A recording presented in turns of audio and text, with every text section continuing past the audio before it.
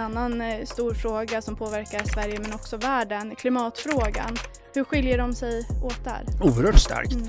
Alltså, Trump har till exempel eh, tillåtit, det är ju administrationen som ger tillstånd till en hel del saker och de har gett tillstånd till eh, Eh, kolbrytning och att dekorföretag får dumpa avfall i den närmaste floden och andra saker. Han har också tillåtit eh, oljeborrning i eh, Mexikanska bukten i botten där det ju var en katastrof med sånt för en del år sedan.